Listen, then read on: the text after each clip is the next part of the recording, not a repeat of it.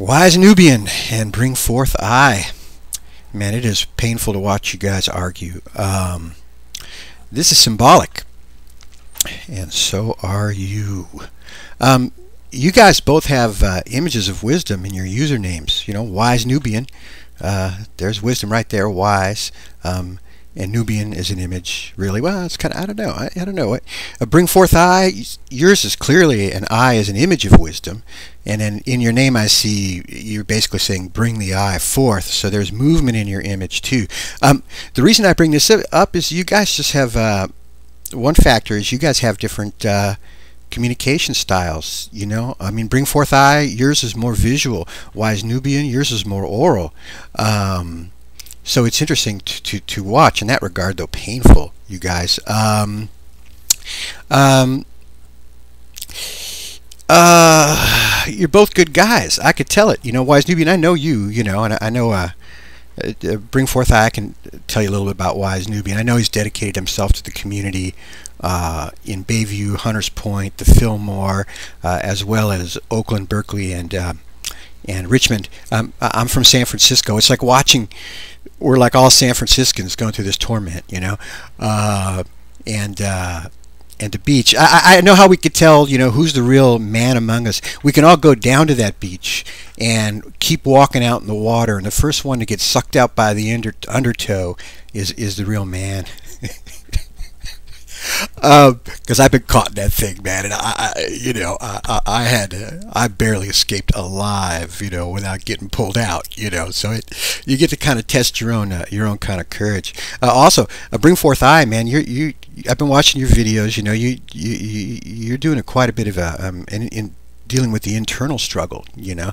And Wise Nubian, I think you're, uh, you're you're secure in your, your, inner identity in that regard, but you're you know, you're fighting the practical battle outside. You know, um, where am I where am I going to start, man? I, will start by you know Ed Grott made a response and talked about um, the chemical DMT, you know, which he said uh, is um, been declared uh, illegal. Um, man, I think the most dangerous chemical in the whole world is testosterone. Man, and lately YouTube has just been drenched in testosterone. Uh, you know, I don't know. Maybe it's maybe it's not testosterone alone. You know, maybe testosterone just creates passion, but mixed with adrenaline, it I don't know if it becomes a separate chemical or the two just work together. But um, man, whatever it is, it it it's it's a hell of a drug. Should be that's what we should outlaw. That combination of testosterone and adrenaline. Um, man, it's it's it's fascinating watching your guys' conflict. I really would like to see you guys resolve it because you're both good guys. You know, um, you're both offering each other wisdom. Um, you know, wise Nubian, you're always offering people knowledge and wisdom. You, uh, uh, you're a teacher. I, I, don't perceive you as a leader. Uh, you have leadership qualities. You know, you have charisma and and all that. But I see you as teaching. You know, teaching everybody really, though focused mainly on your own community, and uh, uh, but in any way, you, are teaching, you're offering wisdom um, of the kind that you've worked out, and bring forth eye. You're offering help to wise Nubian too, and saying I can help you be a better person. You know, um, though I got to say you're being a lot younger than wise Nubian. It's kind of hard for me to hear. Just you know, you can call it ageism or not, but I'm I'm programmed with this you know respect for elders thing. So I hear a young man say I can help you be a better human to an older man. I think, ugh, ugh, you know. Uh, but I, you know, who's to say? You know, you might have greater wisdom.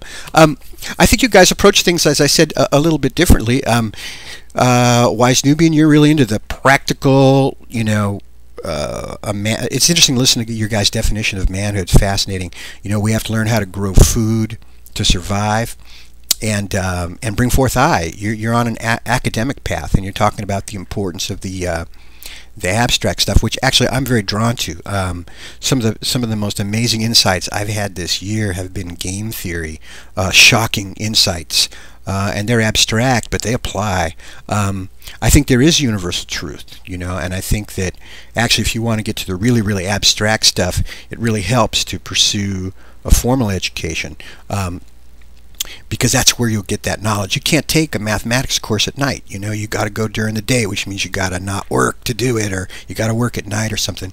Uh, anyway, I, am drawn to the real abstract stuff. Um, uh, But let me tell you, it's all based on conditions. When it comes to planning our lives, man, if if the economy collapses completely and the environment collapses completely, I'm going to Wise Nubian and I'm going to say, man, teach me how to grow a tree. You know, that becomes what's necessary for survival.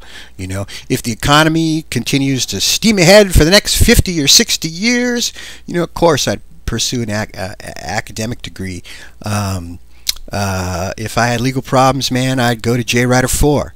And uh, if it ever got to the point where we were really restructuring the country and really reasserting all our common freedoms, I'd go to Ed Grott, man, and I'd say, Ed Grott, show me what should be in a constitution to get to guarantee the rights, the individual rights of the citizen, citizenry. Um, against the abuse of government. You know, it's all conditional. You know, you, what I'm saying is you guys are all right. Everybody's right. It's like we've all got a different piece of the truth and we're beating each other over the head with it and saying, I'm right, I'm right. It's like watching a religious war, you know. Uh, religious wise, I've a you know, I, uh, I'm agnostic and I was raised atheist. I, uh, I do my best not to have faith. I, I know, Wise Nubian, you, you base uh, you predicate a lot of uh, your identity on a sort of blind faith.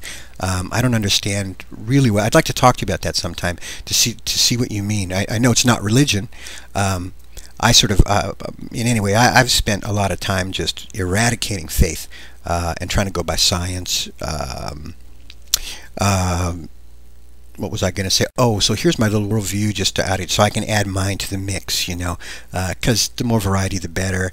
I really believe in I shouldn't say believe because it's a it's a it's a scientific theory and it should be accepted or rejected or modified based on evidence. But I'll say I believe. I believe in evolution. I think we all started from a common ancestor in Africa. I don't know how many tens of thousands of years ago. I then believe that parts of us spread out and migrated across the planet.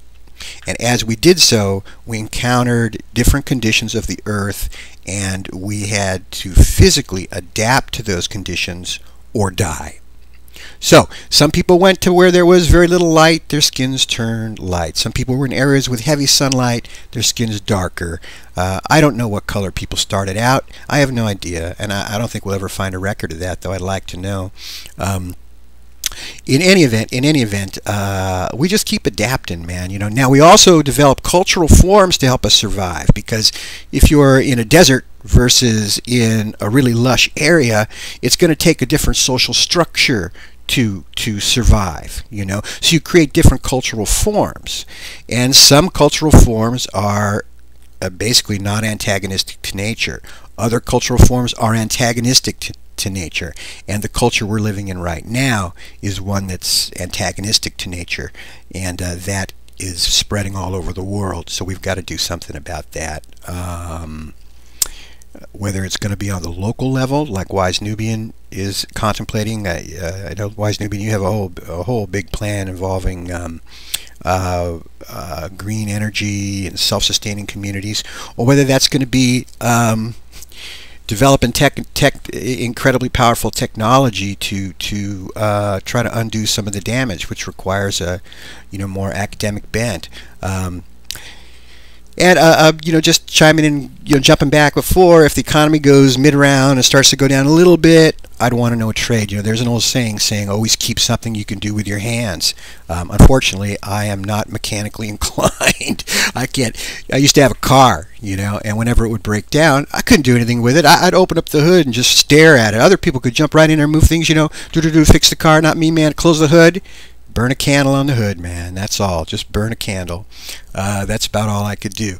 Um, so, I mean, we all have different abilities too. I'm wandering a bit. I apologize. Also, I tend to think and explore thoughts while I talk.